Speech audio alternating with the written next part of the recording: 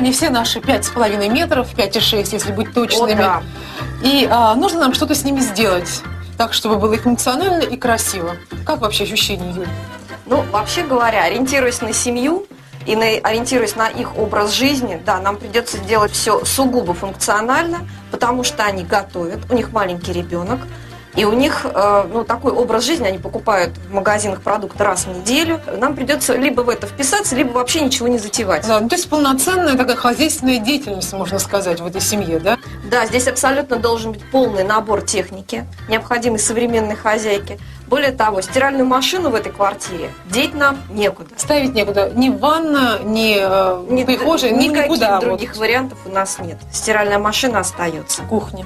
Микроволновкой они пользуются. Однозначно, да. Разогревают ребенку еду, размораживают Да, что-то. да. Варочная панель, конечно. Да, Да, однозначно. Духовка обязательно.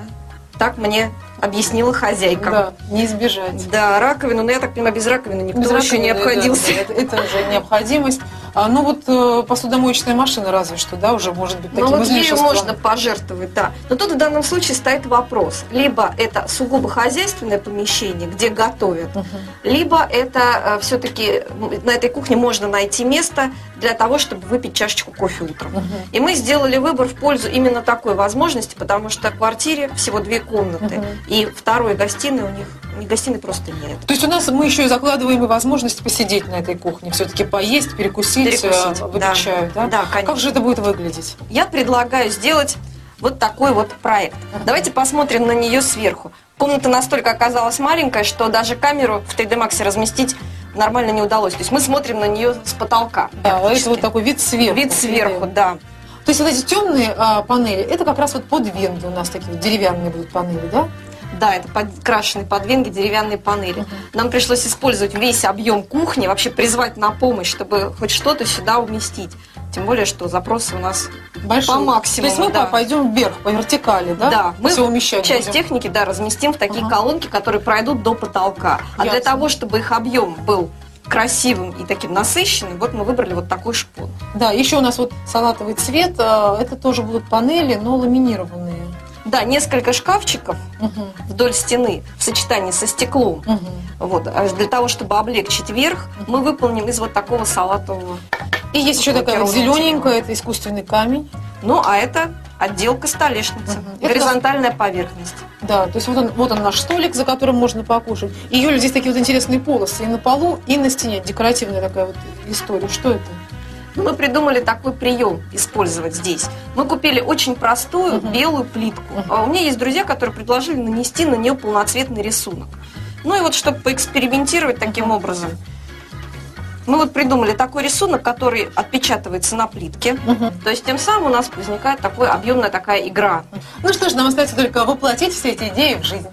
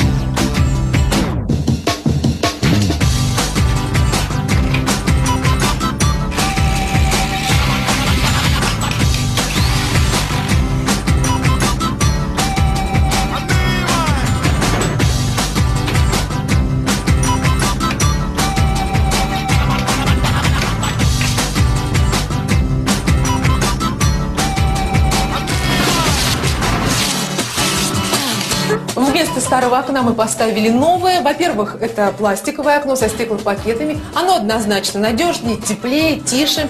А во-вторых, у нас есть еще две причины, по которым нам нужно было новое окно. Во-первых, темный цвет. Новое окно ламинировано под махагон.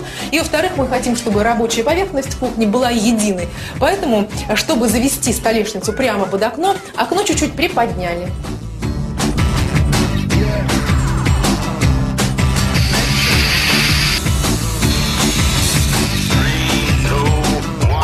Через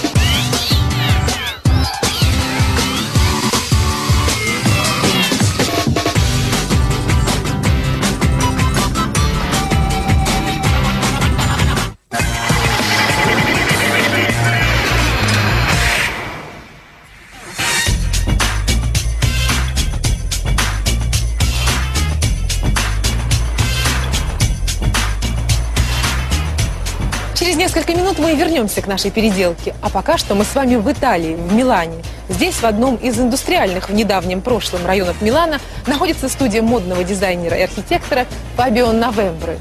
Фабио принадлежит к поколению молодых итальянских архитекторов. Человек он современный, динамичный и очень свободный. Настолько, что даже стены в своем доме сооружает с трудом, по необходимости. Привет. Прошу вас. Это мой дом. Домом это здание стало не так давно. Раньше это был самый большой в Италии авиационный завод. Десять лет назад Фабио обнаружил его среди миланской недвижимости, выставленной на продажу. Я был на 10 лет моложе, и мне хотелось много свободного пространства. В центре оно стоит очень дорого, и тогда я перебрался сюда, на окраину. Здесь замечательно. Все из красного кирпича, и это кажется кварталом лондонских доков. Но в таком, знаете, нью-йоркском окружении.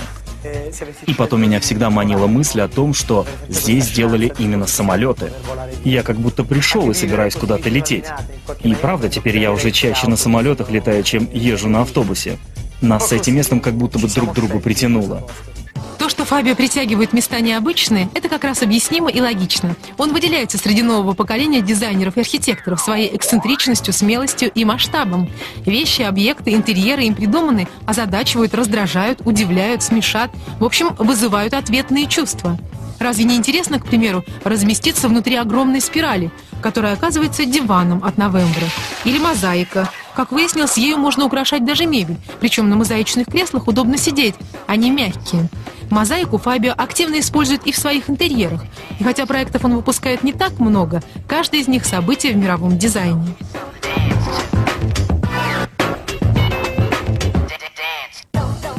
Я архитектор абсолютно нетипичный.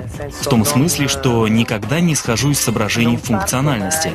Мне нет никакого дела до проблем заказчика. Я думаю, мои отношения с клиентом строятся совсем по-другому.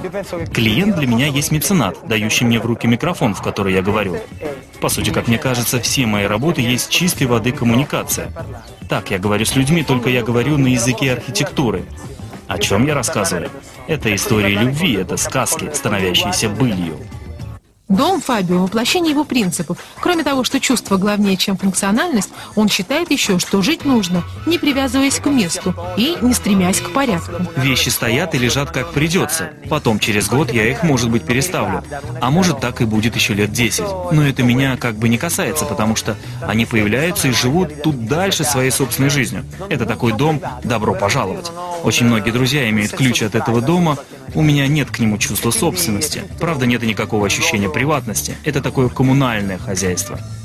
Само место представляет собой квадрат 16 на 16 метров, символически поделенный на несколько территорий. Тут и бюро, и гостиная, и кухня, и спальня, все вместе, что вполне соответствует еще одной жизненной установке Фабио Новембра.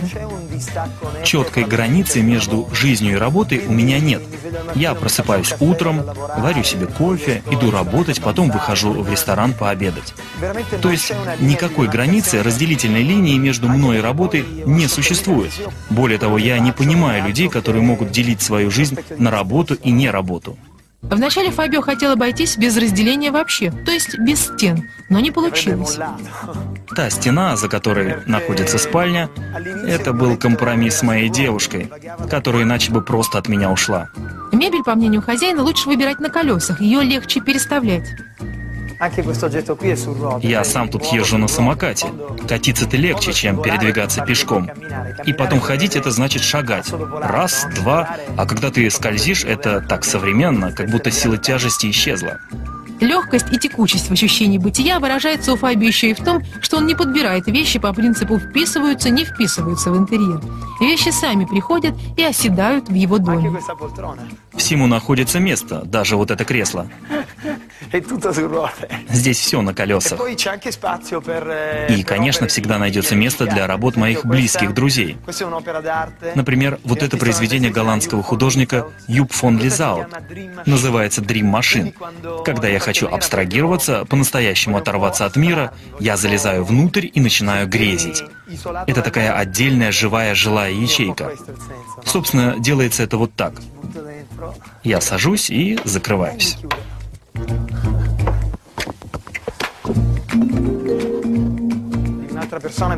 Это еще один замечательный предмет – стеллаж работы любимого Ешира Курамата, японского дизайнера. Стеллаж совершенно поэтический, каждый ящик вращается, практически скульптура. Вот она для чего? Кто-то будет класть в ящики какие-то предметы, а кто-то посмотрит и скажет, как прекрасно, какая замечательная вещь. Я тоже всегда стараюсь переворачивать представления, стараюсь достучаться до сердца, а не говорить поверхностно в терминах физической оболочки.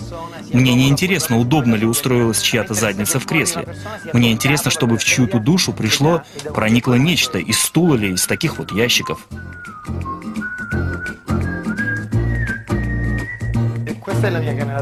Это моя спальня. Здесь я сплю. Смотрите, кровать тоже на колесах. В обстановке беспорядок, поскольку порядок вещей неотъемлемой частью моей жизни, так сказать, не является. Ну, тут полно всякого. Вот такая скульптура, например.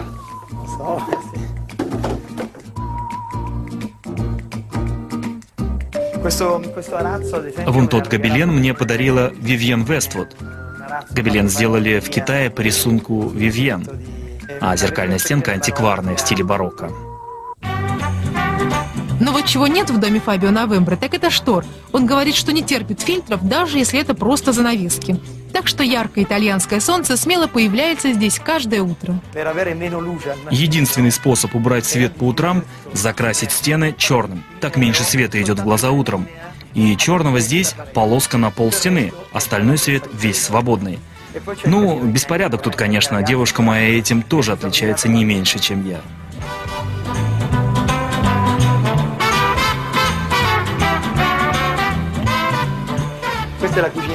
Это кухня, постоянно немытая. Ну а тут туалет. Совершенно такой заводской, фабричный. Мой туалет прекрасен. Здесь такой верхний свет, посмотрите. Три кабинки. Туалет, душ и хозяйственный отсек. Ну а это рукомойник. Все такое нарочито простое и грубое. Простой – это одно из любимых слов Фабио Новембро. Например, себя он считает очень простым человеком, по крайней мере в том, что касается жизни и отдыха. Я родился и живу в перманентном отпуске. Это большая удача для меня. Большая удача. А так мне нравится очень играть в футбол. Два раза в неделю я играю. На мотоцикле люблю прокатиться. Такие простые вещи мне нравятся. Мне незачем стремиться на Сейшелы, пляж, необитаемый остров, чтобы отключиться от всего. Зачем это надо? Все гораздо проще. Все гораздо проще было бы и в мире, по мнению Фабио, если бы люди научились ощущать себя не частью своей страны и религии, а частью планеты. Вот так, как сам Фабио Новембро. Я цыган. Когда меня спрашивают, откуда я родом, я отвечаю, что родился на планете Земля. Для меня границы между государствами – фикция – нет смысла думать, что вот я, итальянец, говорю сейчас с вами, россиянами. Разница-то между нами какая? Мы всего лишь говорим на разных языках. И незачем тешить себя иллюзией, что ты не такой, как другие. Это как раз наихудшая из возможных политических стратегий – создавать барьеры, возводить стены. Такие люди, как я, призваны барьеры разрушать. В этом я вижу смысл своей жизни и работы.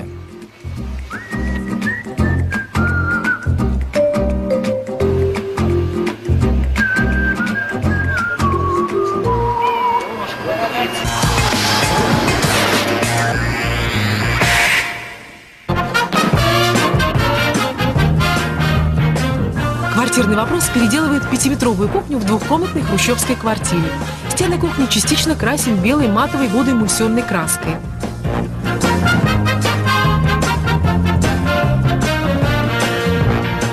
Сразу после покраски начинаются плиточные работы.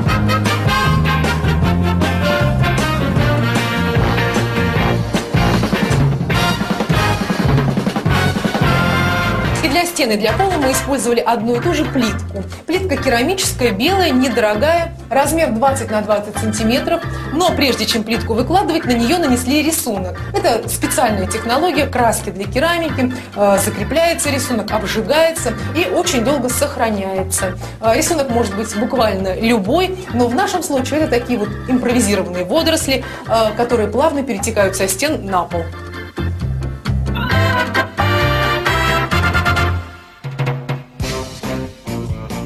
Нашей кухне будет белый, глянцевый, натяжной. Сейчас начинается его монтаж. Установка довольно быстрая. Край пленки заправляется в багет, который укреплен на стене по всему периметру кухни. Во время крепежа пленка нагревается и потому растягивается, а когда остынет, натянется и получится ровный глянцевый потолок, за которым очень легко ухаживать.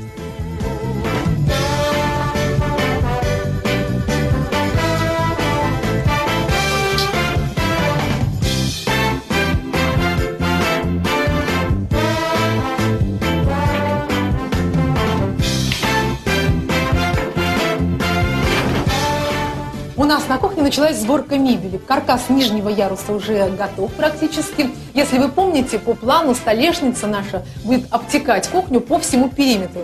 И здесь будет такой язык, некое подобие обеденного стола. На моем месте окажется стиральная машина, ну и место для мойки и для холодильника мы тоже запланировали. Обратите внимание, ДСП для каркаса использовано темное. Это потому, что фасады будут из доба тонированного подвенги. То есть темные будут фасады. А контрастировать они будут вот с такими фисташковыми элементами. Из такого ДСП будут ящики подвесные, которые в свою очередь поддержат наши зеленые полосы. Вот что приблизительно ожидает наших героев. Ну, а сами герои сейчас ожидают своего возвращения домой и довольно весело проводят время.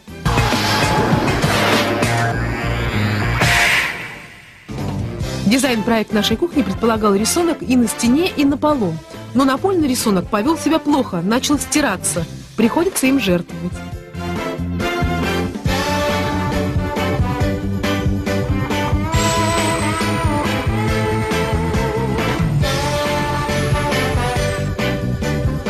Приехала столешница из искусственного камня. Устанавливаем ее. Будет еще небольшой фартук на стене из того же материала.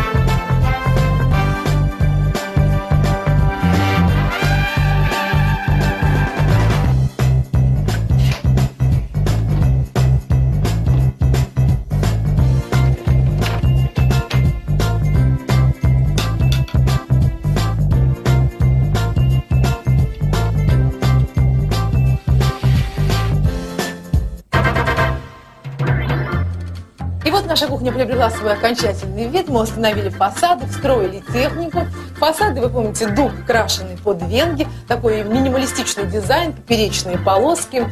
Ну, а поскольку мы хотели каждый сантиметр буквально задействовать, пришлось уходить вверх. И вот это наша первая вертикаль, встроенный холодильник. Внизу холодильная камера, а вверху морозилка. И еще осталось место для небольшой антресоли. Кстати, хозяйскую антресоль мы тоже сохранили, но теперь она выглядит современно в стиле нашей кухни. Вслед за холодильником идет варочная панель, она газовая, четыре конфорки разной мощности, а, чугунные решетки, чугунные крышки на а, конфорках, система газ-контроль, если пламя задулось, а, газ перестает подаваться, ну и электроподжиг. Над э, варочной панелью встроенная вытяжка, она плоская, а, встроена в один из э, шкафчиков, а под панелью э, духовой шкаф. Он электрический, с турбовентилятором, цифровым таймером и системой 3D. То есть три блюда одновременно в этой духовке могут готовиться. Что касается самой кухни, то она довольно вместительная. Есть вот такой выдвижной модуль. В целом внизу получилось 8 ящиков, вверху 5. Есть что куда положить. Мойка напротив окна. Вот сюда встала стиральная машина. Ну и микроволновая печь тоже встроенная. Когда установили столешницу, стала понятна наша идея со столовой зоной. Роль стала выполнять вот этот язык из искусственного камня. Его вполне достаточно для того, чтобы и перекусить в легкую, и вполне нормально пообедать.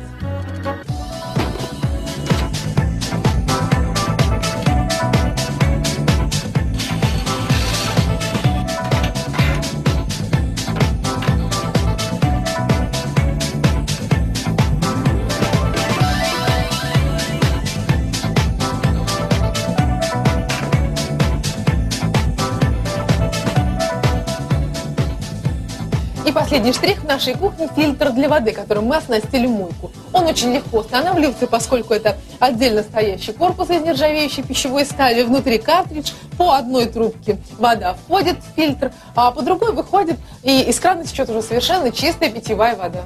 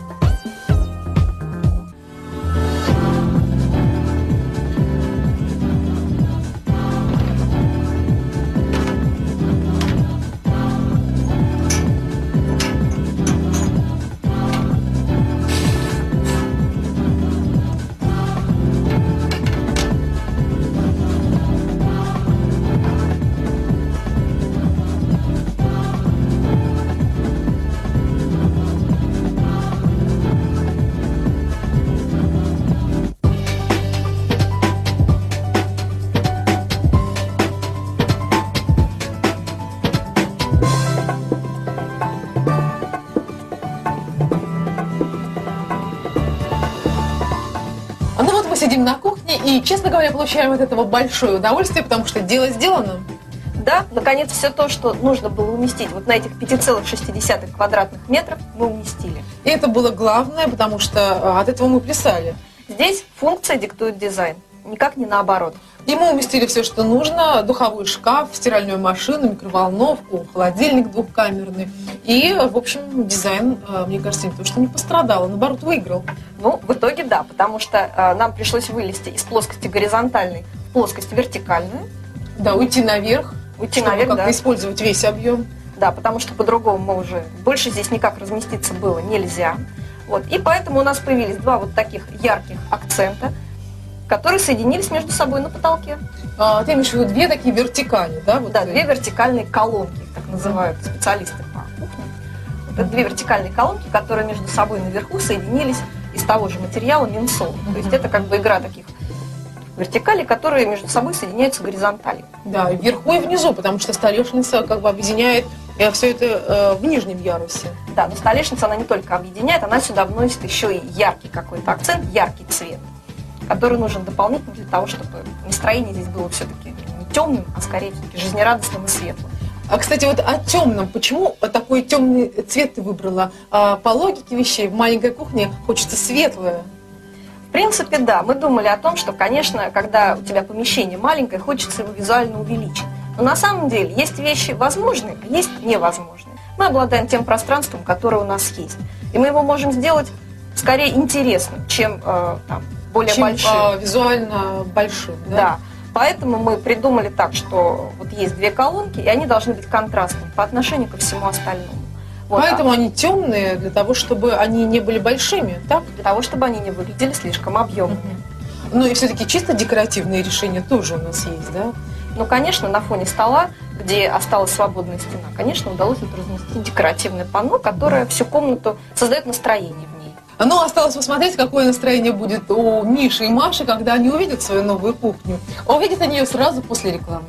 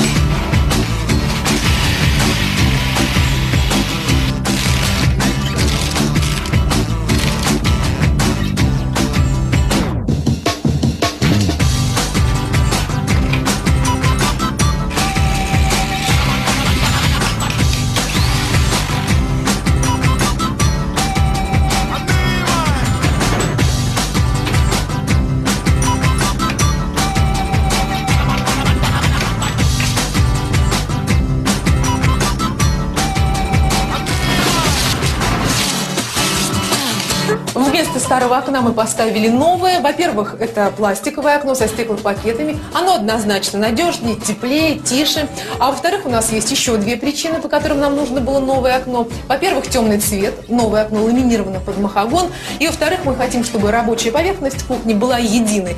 Поэтому, чтобы завести столешницу прямо под окно, окно чуть-чуть приподняли.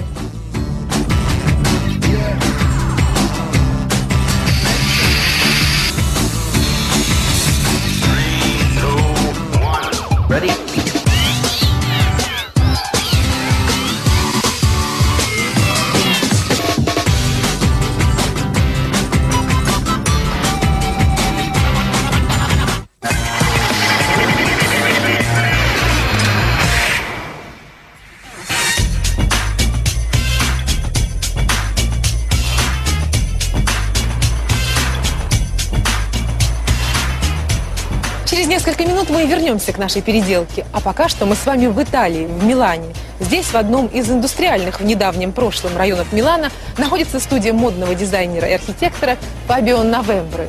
Фабио принадлежит к поколению молодых итальянских архитекторов. Человек он современный, динамичный и очень свободный.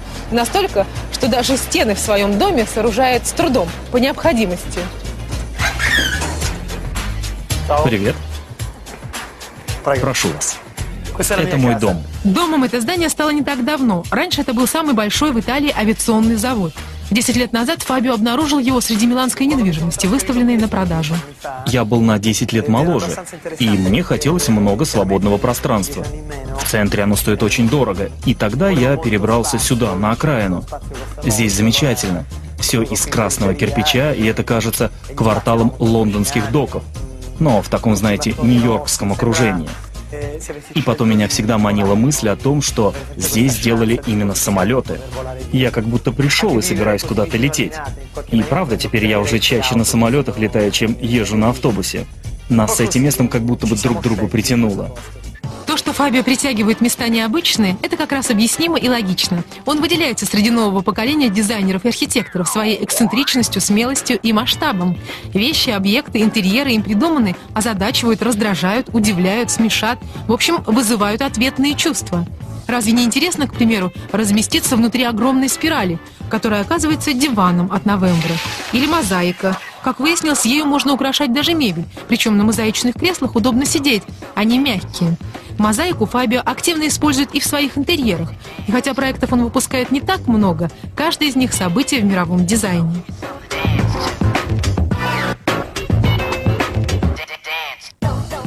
Я архитектор абсолютно нетипичный. В том смысле, что никогда не схожу из соображений функциональности. Мне нет никакого дела до проблем заказчика. Я думаю, мои отношения с клиентом строятся совсем по-другому. Клиент для меня есть меценат, дающий мне в руки микрофон, в который я говорю. По сути, как мне кажется, все мои работы есть чистой воды коммуникация. Так, я говорю с людьми, только я говорю на языке архитектуры. О чем я рассказываю? Это истории любви, это сказки, становящиеся былью. Дом Фабио – воплощение его принципов. Кроме того, что чувство главнее, чем функциональность, он считает еще, что жить нужно, не привязываясь к месту и не стремясь к порядку. Вещи стоят и лежат как придется. Потом, через год, я их, может быть, переставлю. А может, так и будет еще лет 10. Но это меня как бы не касается, потому что они появляются и живут тут дальше своей собственной жизнью. Это такой дом «добро пожаловать». Очень многие друзья имеют ключ от этого дома, у меня нет к нему чувства собственности. Правда, нет и никакого ощущения приватности. Это такое коммунальное хозяйство. Само место представляет собой квадрат 16 на 16 метров, символически поделенный на несколько территорий. Тут и бюро, и гостиная, и кухня, и спальня, все вместе, что вполне соответствует еще одной жизненной установке Фабио Новембро. Четкой границы между жизнью и работой у меня нет. Я просыпаюсь утром, варю себе кофе, иду работать, потом выхожу в ресторан пообедать. То есть никакой границы, разделительной линии между мной и работой не существует. Более того, я не понимаю людей, которые могут делить свою жизнь на работу и не работу. Вначале Фабио хотел обойтись без разделения вообще, то есть без стен, но не получилось. Та стена, за которой находится спальня, это был компромисс с моей девушкой, которая иначе бы просто от меня ушла. Мебель, по мнению хозяина, лучше выбирать на колесах, ее легче переставлять. Я сам тут езжу на самокате. Катиться-то легче, чем передвигаться пешком. И потом ходить — это значит шагать. Раз, два, а когда ты скользишь, это так современно, как будто сила тяжести исчезла. Легкость и текучесть в ощущении бытия выражается у Фаби еще и в том, что он не подбирает вещи по принципу «вписываются, не вписываются в интерьер». Вещи сами приходят и оседают в его доме. Всему находится место, даже вот это кресло. Здесь все на колесах. И, конечно, всегда найдется место для работ моих близких друзей. Например, вот это произведение голландского художника Юб фон Лизаут. Называется «Dream Machine». Когда я хочу абстрагироваться, по-настоящему оторваться от мира, я залезаю внутрь и начинаю грезить. Это такая отдельная живая жилая ячейка. Собственно, делается это вот так. Я сажусь и закрываюсь.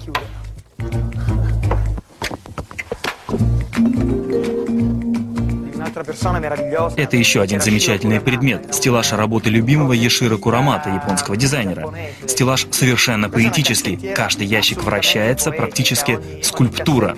Вот она для чего? Кто-то будет класть в ящики какие-то предметы, а кто-то посмотрит и скажет, как прекрасно, какая замечательная вещь. Я тоже всегда стараюсь переворачивать представления, стараюсь достучаться до сердца, а не говорить поверхностно в терминах физической оболочки. Мне не интересно, удобно ли устроилась чья-то задница в кресле. Мне интересно, чтобы в чью-то душу пришло, проникло нечто из стула или из таких вот ящиков.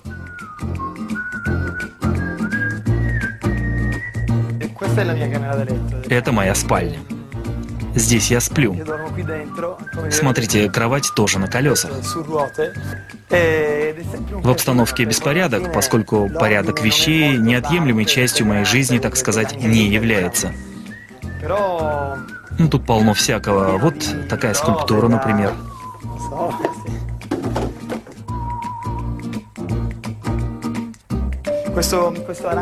Вон тот гобелен мне подарила Вивьен Вествуд. Гобелен сделали в Китае по рисунку Вивьен. а зеркальная стенка антикварная в стиле барокко. Но вот чего нет в доме Фабио Новембро, так это штор. Он говорит, что не терпит фильтров, даже если это просто занавески. Так что яркое итальянское солнце смело появляется здесь каждое утро. Единственный способ убрать свет по утрам – закрасить стены черным. Так меньше света идет в глаза утром. И черного здесь полоска на пол стены, остальной свет весь свободный. Ну, беспорядок тут, конечно, девушка моя этим тоже отличается не меньше, чем я.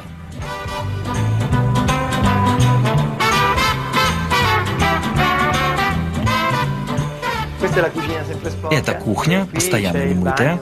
Ну а тут туалет. Совершенно такой заводской, фабричный. Мой туалет прекрасен. Здесь такой верхний свет, посмотрите. Три кабинки. Туалет, душ и хозяйственный отсек. Ну а это рукомойник. Все такое нарочито простое и грубое. Простой – это одно из любимых слов Фабио Новембро. Например, себя он считает очень простым человеком, по крайней мере в том, что касается жизни и отдыха. Я родился и живу в перманентном отпуске. Это большая удача для меня. Большая удача. А так мне нравится очень играть в футбол. Два раза в неделю я играю. На мотоцикле люблю прокатиться. Такие простые вещи мне нравятся. Мне незачем стремиться на Сейшелы, пляж, необитаемый остров, чтобы отключиться от всего. Зачем это надо? Все гораздо проще. Все гораздо проще было бы и в мире, по мнению Фабио, если бы люди научились ощущать себя не частью своей страны и религии, а частью планеты. Вот так, как сам Фабио Новембро. Я цыган. Когда меня спрашивают, откуда я родом, я отвечаю, что родился на планете Земля. Для меня границы между государствами – фикция. Нет смысла думать, что вот я, итальянец, говорю сейчас с вами, россиянами. Разница-то между нами какая? Мы всего лишь говорим на разных языках. И незачем тешить себя иллюзией, что ты не такой, как другие. Это как раз наихудшая из возможных политических стратегий — создавать барьеры, возводить стены. Такие люди, как я, призваны барьеры разрушать. В этом я вижу смысл своей жизни и работы.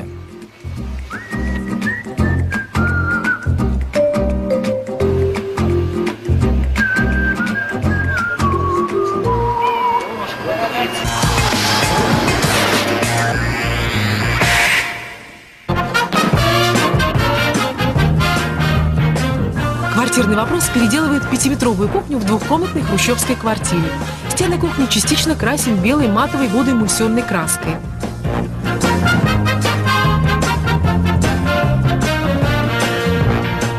Сразу после покраски начинаются плиточные работы.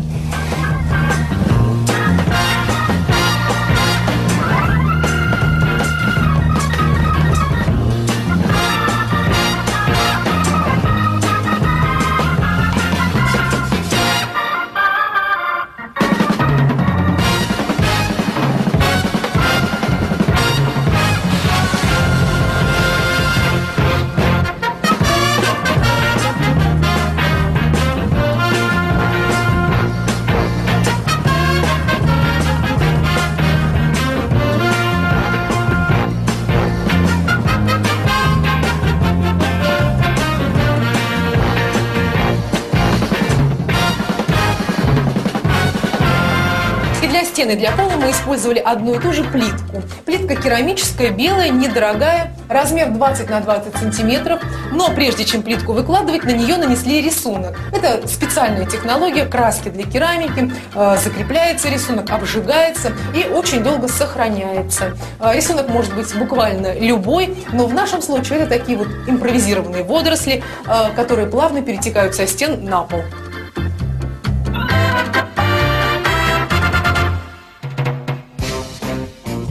Потолок в нашей кухне будет белый, глянцевый, натяжной. Сейчас начинается его монтаж. Установка довольно быстрая. Край пленки заправляется в багет, который укреплен на стене по всему периметру кухни. Во время крепежа пленка нагревается и потому растягивается, а когда остынет, натянется и получится ровный глянцевый потолок, за которым очень легко ухаживать.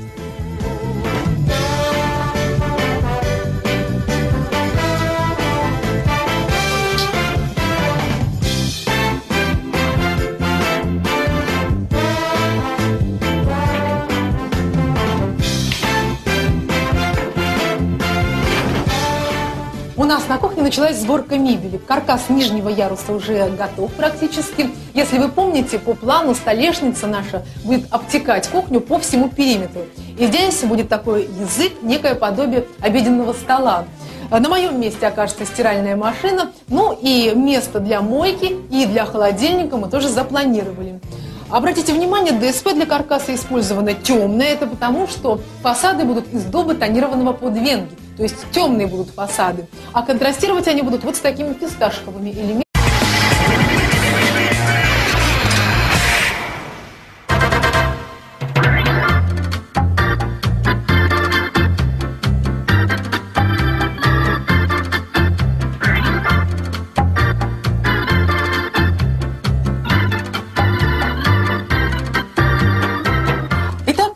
Нами все наши 5,5 метров, 5,6, если быть точными. О, да. И а, нужно нам что-то с ними сделать, так, чтобы было и функционально, и красиво. Как вообще ощущение, Юль? Ну, вообще говоря, ориентируясь на семью, и на, ориентируясь на их образ жизни, да, нам придется делать все сугубо функционально, потому что они готовят, у них маленький ребенок, и у них э, ну, такой образ жизни, они покупают в магазинах продукты раз в неделю. Нам придется либо в это вписаться, либо вообще ничего не затевать. Да, ну, то есть полноценная такая хозяйственная деятельность, можно сказать, в этой семье, да? Да, здесь абсолютно должен быть полный набор техники, необходимой современной хозяйки. Более того, стиральную машину в этой квартире деть нам некуда. Ставить некуда. Ни ванна, ни, э, ни прихожая, ни никаких никуда. других вот. вариантов у нас нет. Стиральная машина остается. Кухня. Микроволновкой они пользуются. Однозначно, да. Разогревают ребенку еду, размораживают что-то. Да, да.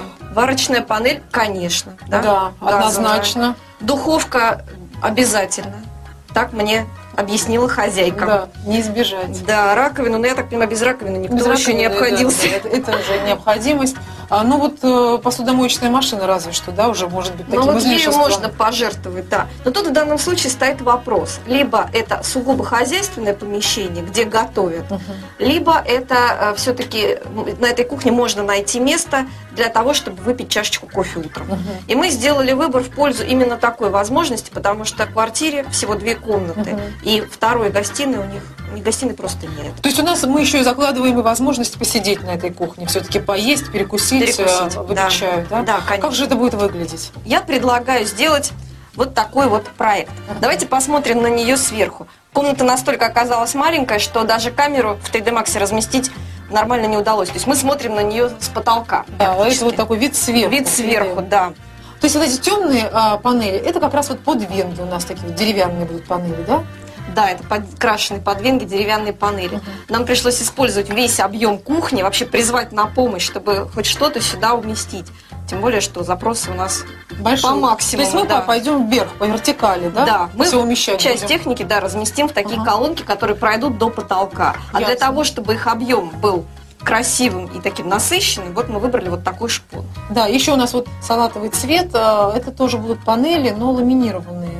Да, несколько шкафчиков угу. вдоль стены в сочетании со стеклом. Угу. Вот, а для того, чтобы облегчить верх, угу. мы выполним из вот такого салатового. И есть еще такая вот зелененькая, это искусственный камень. Ну, а это отделка столешницы, угу. горизонтальная это... поверхность. Да, то есть вот он, вот он наш столик, за которым можно покушать. И, Юля, здесь такие вот интересные полосы и на полу, и на стене. Декоративная такая вот история. Что это? Мы придумали такой прием использовать здесь. Мы купили очень простую белую плитку. Uh-huh. У меня есть друзья, которые предложили нанести на нее полноцветный рисунок. Ну и вот, чтобы поэкспериментировать таким образом, мы вот придумали такой рисунок, который отпечатывается на плитке. Угу. То есть тем самым у нас возникает такой объемная такая игра. Ну что ж, нам остается только воплотить все эти идеи в жизнь.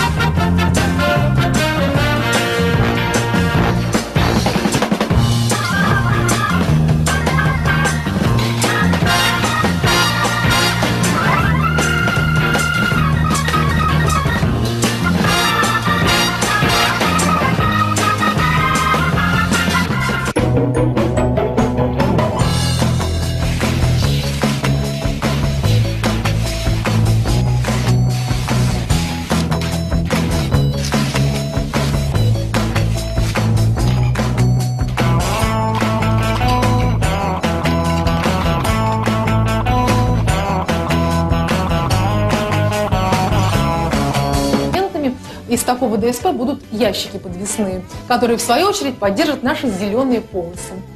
Вот что приблизительно ожидает наших героев. Ну, а сами герои сейчас ожидают своего возвращения домой и довольно весело проводят время.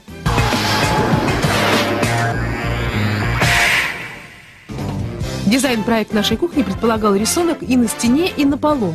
Но напольный рисунок повел себя плохо, начал стираться. Приходится им жертвовать.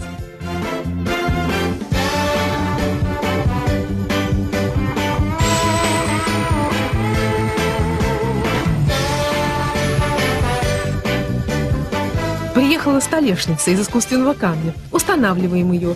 Будет еще небольшой фартук на стене из того же материала.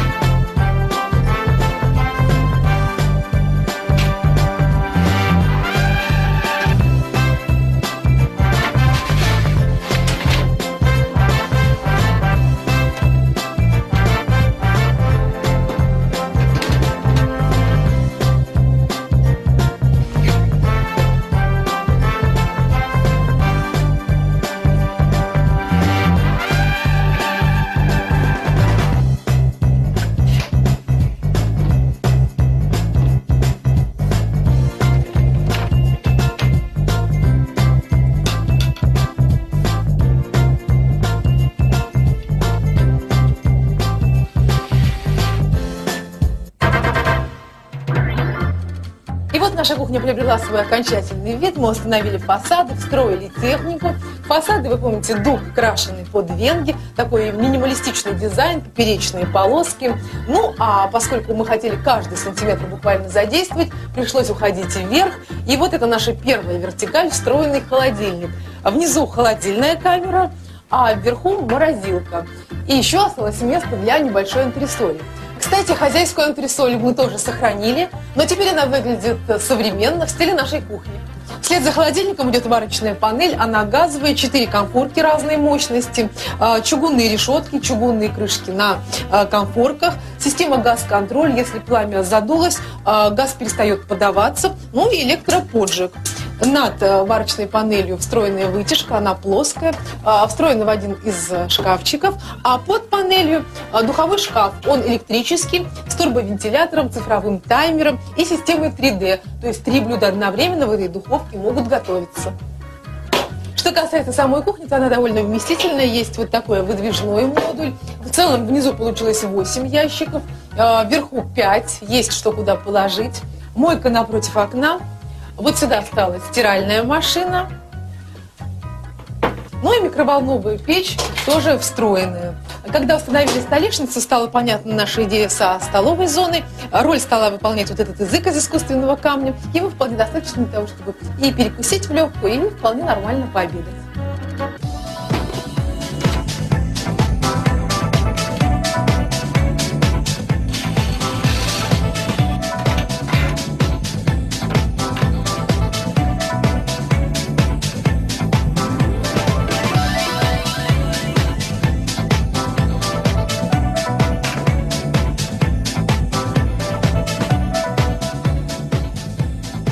Последний штрих в нашей кухне – фильтр для воды, которым мы оснастили мойку. Он очень легко устанавливается, поскольку это отдельно стоящий корпус из нержавеющей пищевой стали, внутри картридж, по одной трубке вода входит в фильтр, а по другой выходит, и из крана течет уже совершенно чистая питьевая вода.